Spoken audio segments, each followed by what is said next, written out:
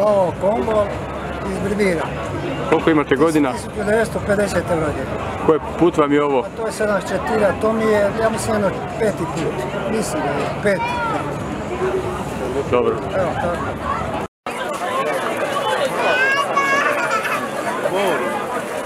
sudac. Sad ću vam ispričat i opisat stazu koja se razlikuje od prošle godina i od prošle godine.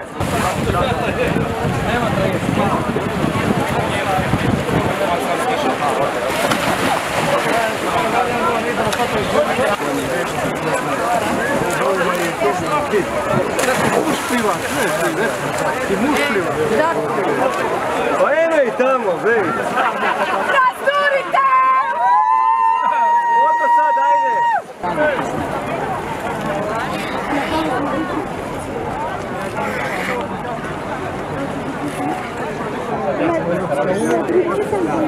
É o único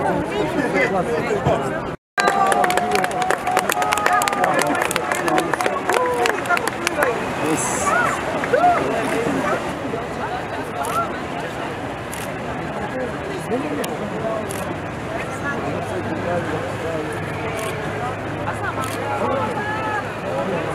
y